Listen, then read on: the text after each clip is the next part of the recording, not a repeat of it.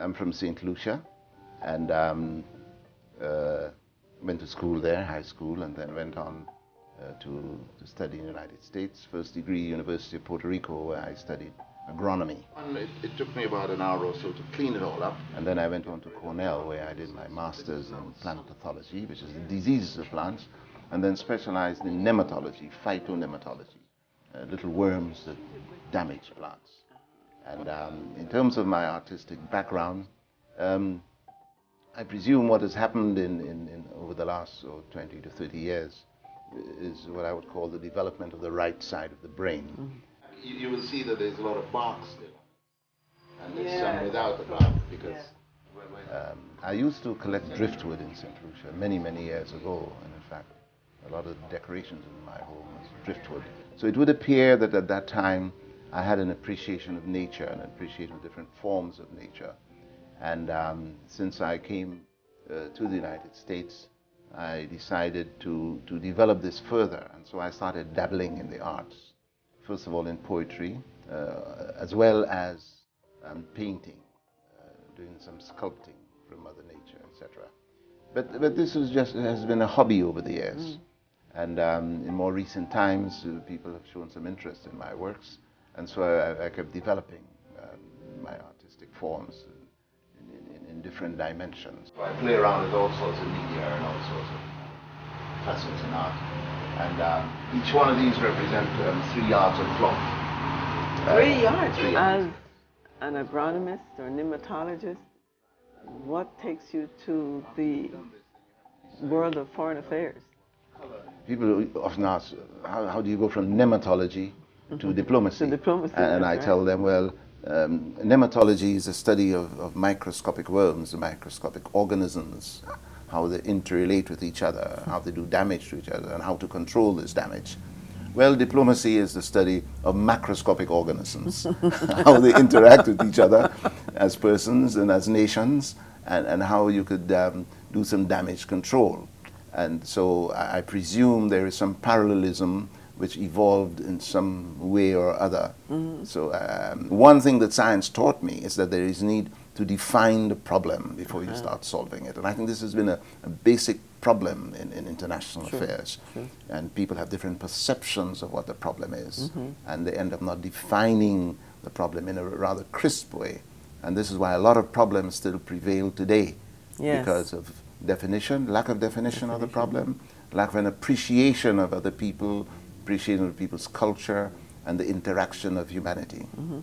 How much opportunity did you have to use some of your artwork or to, to in some way interrelate the thinking that you bring to art and poetry to the diplomatic world, aside from the scientific world?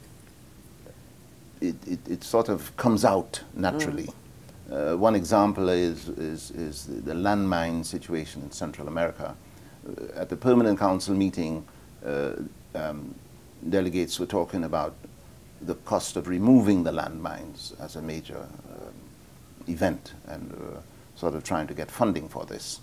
And it occurred to me that while we are removing landmines, it's quite possible that new ones would be put down. Mm. And so we would not have solved the problem. Mm. So my scientific mind told me that we haven't defined the problem. The problem will continue to exist unless we stop the, the, the planting of landmines in Central in America. Place, yeah. And I thought of the Caribbean as well. You know, one landmine costs only $3. What would you say was the highlight of your diplomatic career? Well, I would say this was one of them in terms of the hemisphere as a whole, uh, plus the fact that I was um, chairman of many committees in education, science, and, and, and, and, and technology. And um, uh, from the St. Lucian point of view and the Caribbean point of view, I was able to, to increase the number of scholarships and training programs uh, for the Caribbean because I felt very strongly that human resource development um, was so important for the development of, of emerging countries like mm -hmm. ours. In addition to this, uh, when I joined the OAS, people spoke about um, Latin America. Of course. And um, there was no mention, no of, mention the of the Caribbean. And I insisted it's Latin America and the Caribbean. Mm -hmm. And today you hear more of Latin America and the That's Caribbean. right, yes. So this awareness of the Caribbean and the, the, the, the particular problems related to our smallness, our vulnerability and things of this nature. Mm-hmm. Of course, you were ambassador for some 15 years, Yeah, and you've now been out of that Yes, for yes. uh, what at least five years, six, five, five or six six years, years. yes, mhm. Yes. So, uh, are you pleased then with what you've seen happening in the OAS uh, and with U.S. Caribbean relations since then? Well, there's a lot more work to be done. Uh, if there's one area I was not successful in, in doing is making the U.S. Um, government at all levels recognize the importance of our banana industry. Um, I left at the time where we were being challenged at the WTO, um, where through pressures from um, the big companies, the United States found it necessary uh, to take us to the WTO. And um, uh, in- that area, um, we are still struggling. And there again, I think it's because the lack of a proper understanding of what global humanism is all about. And this has been my more recent theme.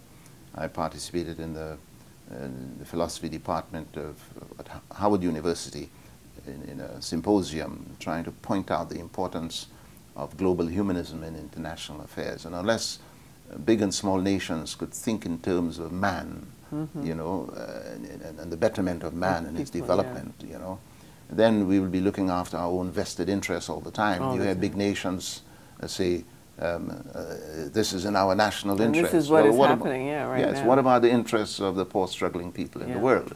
So I think there is need for a new mindset of global humanism, and this uh, is one of my new themes. Global village, more so. Exactly, Yeah. yes.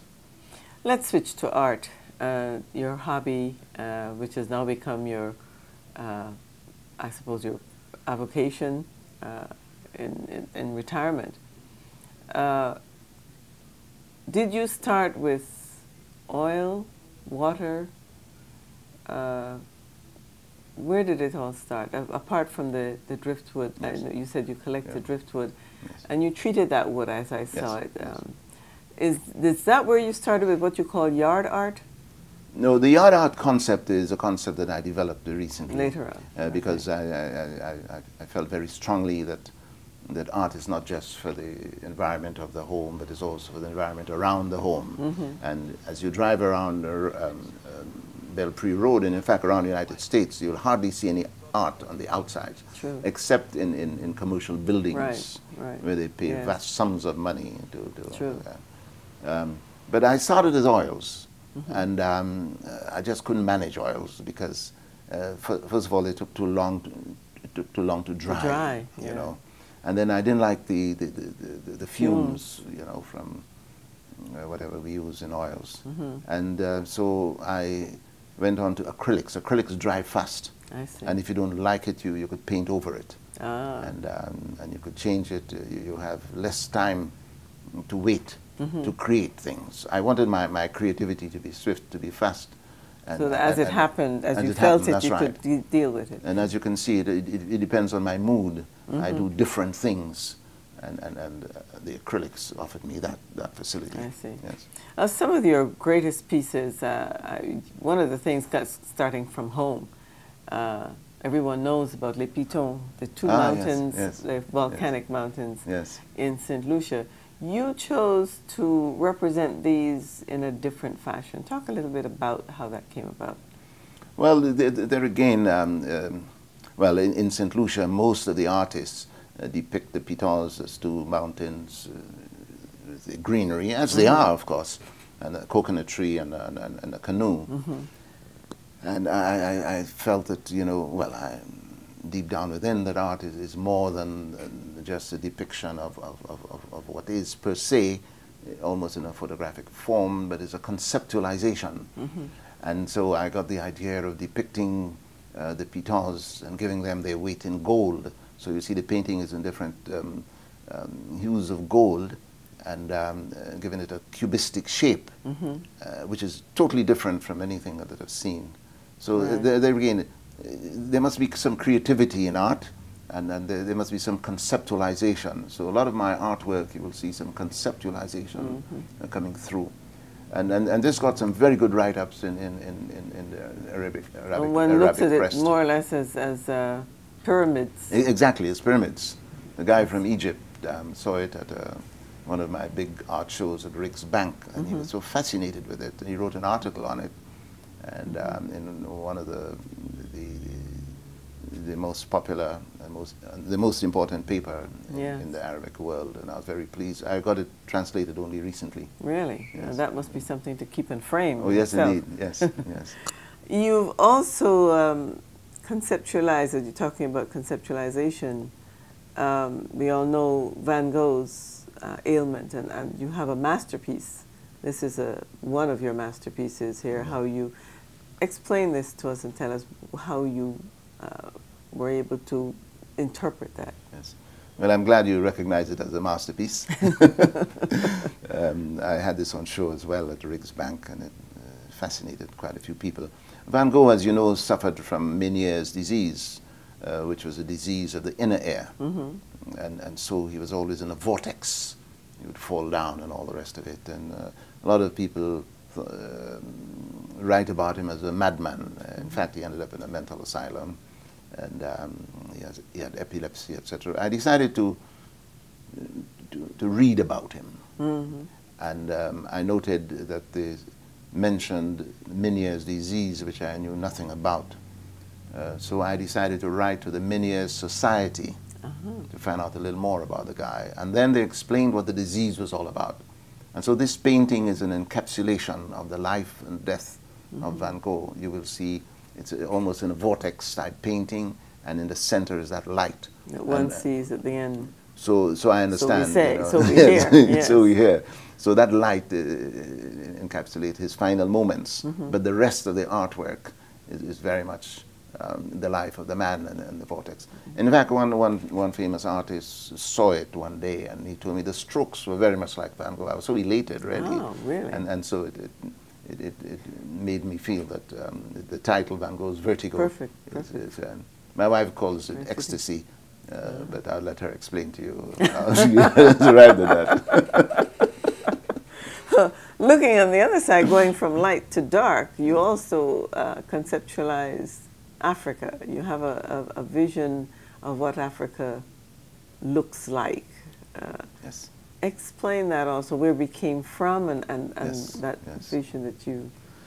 Well, there again, this is an encapsulation of my scientific background uh, in terms of evolution, evolution of man, and um, uh, the concept or reality that man evolved from Africa. Mm-hmm. And, and so I, I, I painted the skull of, of ancient man. And, um, but in his, in his brain cavity, I, I have a skull of modern man. So there is ancient man conceptualizing modern, Modern man. man. But then he's looking towards Africa. And uh, you will see that within Africa, uh, there is a, a painting of, of, or markings of the world, a world. world sort of with the longitudes and latitudes. Right. So there is a conceptualization. You know, they came from Africa, so to speak. Ancient man, world modern man, and the evolution of man and the world of man coming from All Africa. started there. All of it on a black background. Wow. That is a fascinating piece. Yes. This is one of uh, one of the series of Afrocentric evolution art, uh, you know, Mm-hmm. Right. depicting uh, Afrocentric. You've also got one on the Madonna, mother Yes. and child. yes, This, uh, yes, that's another. Yes. There again, I, I can say that this is a tribute to, to one of our famous artists in St. Lucia called Dunstan St. Omer. Mhm. Um, he has painted quite a bit uh, on the Madonna, the Black Madonna. Right. and um, uh, so th- this was my um, uh, uh, attempt to, de- to depict this Black Madonna in, in my own way and my own perception. You will see that, that the child is virtually coming from the womb of Right, the mother, the but embraced by the mother, etc. Yeah. Let's move to some of the unique uh, methods that you use. You use ice, fabric, uh, uh, humus. Yes, Uh, yes. Tell us a little bit about how you, why in the beginning did you even think of using these? Or why would, how would you decide to do something with fabric? Tell us a little bit about the fabric work. Well, the fabric work is, is, is very recent. Um, there again, as a, as a scientist, I, I, I, feel free to experiment with different things. And um, so I go to G Street Fabric and, and I buy and scraps. Uh, well, I, I, actually buy yards of cloth. Yards of cloth. Uh -huh. And each painting you'll see in there is, is three yards of cloth, mm -hmm. which I soak in water, open up the pores, and, and, and then I use That it, helps it absorb the acrylic it, paint it, better? No, it, it, it, it helps. I use cotton fabric. Oh, it gives you texture yeah, then? It, it, gives, it opens up the pores uh, so that when I use my I use a drywall mm -hmm. material, ah, okay. so it seeps into it, mm -hmm. and then I put it on hardboard and, and, and work it into different shapes and forms. Mm -hmm. uh, then you have to let it dry, and then you, you, you, you, you, you spray or you paint onto it. So I have a royal blue, royal red, royal green, but then I, I could put in some calypso colors. Yeah, so you have that bright calypso. Yes, so you have the bright yeah. colors as well. Mm -hmm. So this is what I call my new form, my, my new finding in terms of artistic mm-hmm. expression. Mm -hmm. The other one with ice, then again, you know, uh, the, your artwork doesn't always come out. It's sometimes very frustrating, mm. and uh, using a, a, brush, you know, and trying to blend things. And, and since I'm self-taught, I decided, well, why don't I use ice to move the paintings around? So I position the paintings in different parts of the canvas, and, and then I use the ice to move it around. As the ice melts, it, it, it, it takes, it, it takes the, the, the, paint with it. And that's using acrylic? Acrylic, well. there, there, there, again. But, you know, you have to use the ice uh, when it's really solid ice. Mm -hmm. If it melts too much, you create mud. Uh -huh. Lots of people have tried this and they've created you mud. So, color. so you have to yeah. throw it away and then get the ice again from, from the ice tray and, and, just move it around until you come up with something that's pleasant, something that's pleasing. And there are many things you could do with it. And the good thing about ice too is that uh, you could get to the original background that you had in terms of color. Mm -hmm. So you could see from some of my paintings like plumage, etc., mm -hmm. a Mm-hmm. tremendous configuration of color which you could which you could not achieve using a With brush. Brush, uh-huh. You know. I see. So you you got a yeah because you can maintain the base and still work over that. And, and, and, exactly. Allowing the ice to move around different. Exactly. Fascinating. You also did have something in foil. Oh yes, You've aluminum foil. A, aluminum well, this foil. is this is fascinating because uh, when I my wife and I attended various parties, I would ask them to please save the foil for us, you know, around the chicken. and, and, and the one lady was rather suspicious. She wanted to know what I was doing, but I was recycling the stuff. I had to impress upon her that I was recycling the foil in the form of art, and she demanded a, um, a, a piece of works of art. She yes, needed some yes, proof. Some proof. That's right. So the Holy One was done with ice, with, with, with, with aluminum foil. Mm -hmm. um, the um, uh, old Mech and, and, and several others. Mm -hmm. The thing about the foil is that it, it, it gives the, the, type of background which you can't normally get just painting on. It, it gives a, a, certain texture. Mm -hmm. uh, for example, with the Holy One, you'll notice uh, the glow around uh, the Holy One. Yes, yes. And uh, the texture is distinct. That texture is, yes, yes, really. So the, this was fascinating. It's, it's a bit tedious because you have to tear up the bits and pieces, put them together, stick them onto board or or canvas, and, and then start working. Mm -hmm. And since I do everything myself, uh, rather tedious, so I've stopped doing it for the time being until I get into a new mood, you know? I see. You also obviously have been doing this for so, some time. You have such a vast collection of so many different types of work. You've got from the very small pieces to the very large pieces. Um, is this something that you decide to do every day, or do you just wait until you have the mood, or how does how have you been able to do this over the years? Well, it, it depends on, on, on my mood. You know, um, you're correct. I have so many different types and forms and shapes. You know, from floral to abstract to scenery and all the rest mm -hmm. of mm-hmm. it. Also, a depiction of of, of history. You, you will see some of those. Um, uh, some pre-Columbian forms, etc. It depends on my mood, uh, whether I paint or I write poetry and what type of poetry I write, what type of painting I, I end up with. I don't do it every day. Mm -hmm. And I found that um, uh, lots of people buy the small pieces because uh, they're not very costly and uh, they buy them as gifts. And I have lots of originals in, in this. And the house has gotten so overloaded with works of art uh, that I have to find an outlet. So various galleries have asked me to, to, to, to hang some of my stuff with them. And I also do benefits um, uh, for the Multiple Sclerosis um, Society, uh, the Caribbean organizations, the Kiwanis Wives. And so I, I hang some stuff for them and, and they get the X percentage of the proceeds. So the, the, the, there's, a, there's a fulfillment and enjoyment in what you do, and at the same time, you're making a contribution. Right. Let's talk a little bit about your poetry. Uh, you've written two books of poetry, one real, one Yeah. big book of poetry, uh, and you have some of the thoughts that you've also put down in a, a smaller book. Would you read for us one of your favorite pieces from uh, the poetry book, um, Many Horizons? What has inspired you while you're choosing that? What what inspired you to move to poetry? As, is this something that you developed simultaneously with art, or is this something that you've done just recently? Well, I've, I've been writing poetry for many years now, and um, when I look at the dates of my earlier ones, uh, it's uh, what, uh, three decades or more, you know.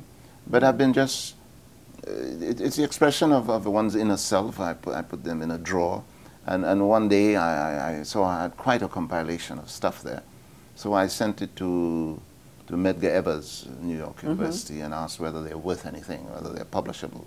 And I was told that they were gems and that they would publish them and all the rest of it. Ah. And um, so I proceeded to, to go over them and, and shape them appropriately. And, and um, this led to, to, to this publication, Many Horizons. Many Horizons. And this is just a small selection of, of what I have there. There are only 99 poems in there. I'm preparing for my second publication, Many Voices Calling, and um, uh, probably another 100 or so. And I still have many more. Wow. It's, it's, it depends there again on my, on my mood. And, and experiences, I suppose. experiences as well. Because a lot of these poems, um, they don't rhyme. It's, it's about humanism. It's about preoccupation, uh, And thoughts nature. that cross your mind as Yes, you yes, experience yes. certain things. Uh, Let's hear right. some of it. uh, them and I. Uh, th- th- this one was very much inspired by the Rastafarians of, of, of Jamaica. Mm-hmm. You know, I and I sort of thing. You know. That's right. Yeah. and it's a very popular one. Everybody asked me to read this one. it's them and I. I live with them all. I live with all of them. Them and I represent the race, the human race in them all and I. I, as part of them, the race, together live on in time and space, manifesting the norm of the race. But I am I in spite of them. The them influence the I, but the them is not the I that I am, though the them is the I in part, for I am part of them. I must not be totally absorbed by them, nor must I be them devoid of the I as I, for the absorption of them would remove the I from I. I am the expression of I, not the dilution of them. I must, I am the exaltation of I, in spite of the dilution of them. I must continue to preserve the I, in spite of the influences of them. I must, like them, exert the I as I in I, not the mirror of them, but the I in spite of them. Them. So it shows you the conundrum in which we are faced in That's this world right. today. People are trying to tell us who we ought to be and how we ought to act. And this has its dimension both in terms of human relations, also Mm-hmm. in terms of international relations. People telling you what you should What do. you should be what you- doing. That's right. And removing the eye from eye. So you- may, Very poignant for the Caribbean right now. Yeah, exactly. Yes. Is there another small one you would like to share with us? Oh. Well, it's, it's, it's another one which, which is a, a reflection of probably uh, myself as a, as, a, as a kid growing up and what I am today. And I presume also um, um, uh, something I, I wish to say to, to the youth, you know, who would always like to be um, somebody else or something else. And it's thank God for me. I thought it would be great to be as free as a bird, to glide on high in the sky with grace and ease so beautiful, until I recalled my moving target, a sport I enjoyed in my youth, killing birds.